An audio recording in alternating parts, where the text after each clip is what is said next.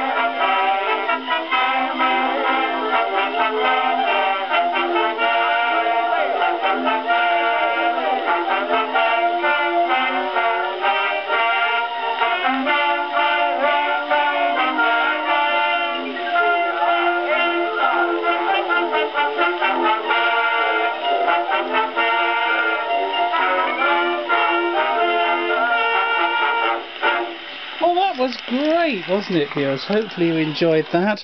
And of course I'd forgotten when I read the title. It's that record! Yes, that tune used at the end of Way Out West.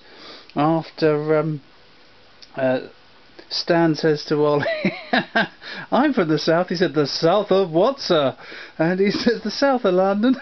Which wasn't strictly true. I think he's from somewhere up north, wasn't he? Somewhere beginning with K that I can't remember.